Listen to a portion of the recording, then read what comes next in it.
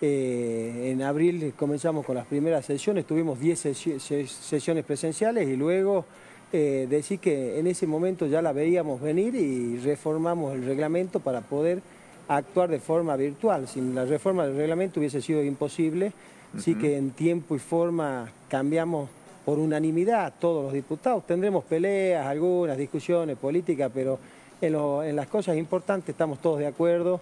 Eh, Ante una crisis tan grande, inmediatamente se alinearon todos y fueron hacia eso. Eh, hacia eso, por unanimidad quedamos en hacer eh, virtual y hicimos las 20 sesiones hasta la de ayer de forma virtual. Uno por ahí, algunos querían ya las últimas hacerlas de forma presencial, pero vos ten en cuenta que tiene una legislatura que somos 60 los diputados, todos amontonados, más los taquígrafos, más los empleados, más los secretarios, más todos, haces un total de 100 personas. No es lo mismo cuando uno está en un lugar más amplio, como que están autorizando ahora para que hagan la fila, los, quinto años, que, son lugares amplios, que ocupan el 30%. Eh, por ahí algunos critican la virtualidad, yo vengo trabajando, se trabaja, te diría, el doble o el triple a través del sistema virtual que la forma presencial, nada más que la forma presencial, eh, estar la gesticulación del diputado, expresarse, tener el diputado al lado, un poco más de circo, la cámara, los medios,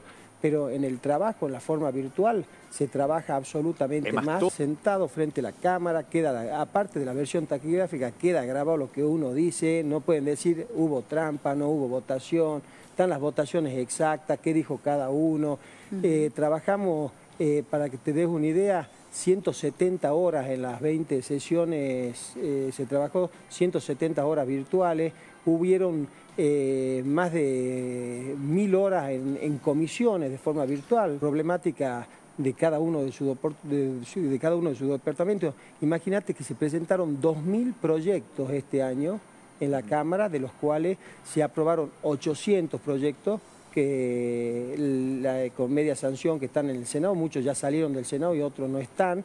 Está el tema de los médicos que aprobamos ayer, que es un tema importantísimo, que, venían pidiendo para tener el aporte de las obras sociales, eh, que les dimos media sanción final. Eh, está el tema que ayer eh, por ahí se quejaron algunos diputados con el tema del convenio fiscal, que hubo un acuerdo entre el gobierno de la Nación, el gobierno con todos los gobernadores, para, para poder eh, la famosa suba de los automotores, que al 2%, que todos se están quejando. Pero yo te digo, yo pago la patente donde tengo el domicilio, que es en la viña, pago la mitad de lo que paga uno por la patente en Salta. Con respecto a eso tenemos eh, unas declaraciones justamente del diputado por el departamento de... El tema es que aquí en Salta Capital no hay ninguna suba en el del impuesto al automotor, todos están pagando lo que hoy en día se está pagando. Esta ley consiste los utilitarios, las camionetas, todas las herramientas de trabajo no van a tener absolutamente ninguna suba.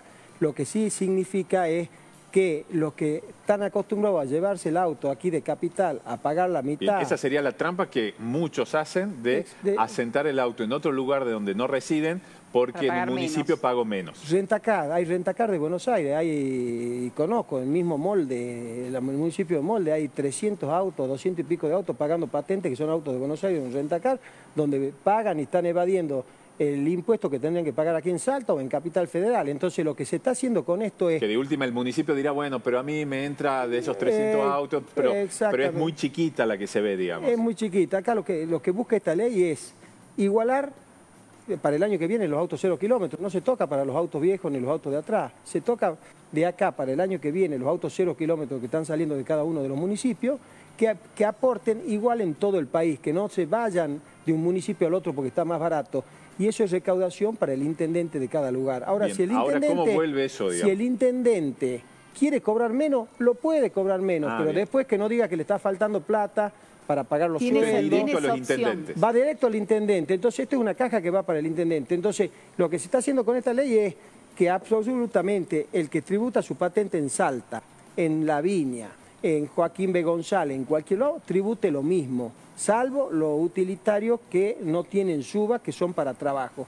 Esos autos, eh, ¿por qué a la ciudadanía de Salta va a tener que pagar eh, un 2% del valor del auto nuevo y el que se compra un 0 kilómetro en Orán, donde estaba Baltasar Agro, va a tener que pagar un 0,5. ¿Por qué? Vos decime por qué. A altura y que jamás pude, pude conseguir siendo mayoría la Cámara de Diputados, es la ley a favor de las dos vidas.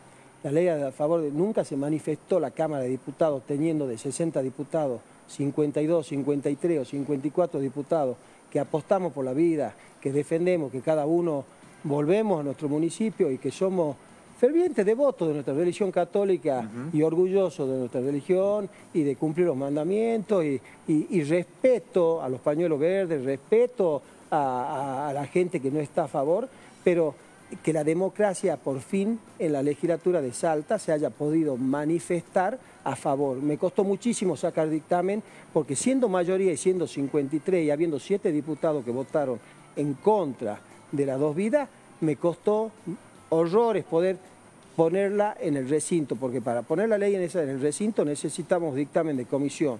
Y esos diputados estaban en comisiones clave donde al no dar dictamen y no querer tratar, e empañaban el debate que podíamos haber dado tranquilamente, que lo dimos y que lo aprobamos.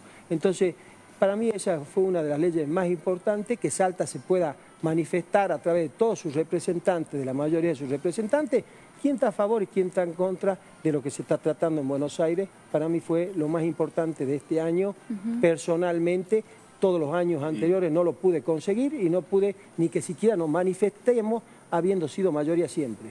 Bien, más allá de su postura, que se debata. Que, se, ponga y, que se hable de, debata, Que se debata, que se hable de los temas y, ser respetuoso cada uno, respetar la mayoría del otro, el pensamiento del otro y una vez que, salga uno, salga otro, los otros acompañar a lo que se está haciendo, por más que uno no lo comparta, eh, pero sí es eh, no pelearse, no discutir, no salir a... Es lo que la gente no quiere eso, digamos. pero yo creo que la Cámara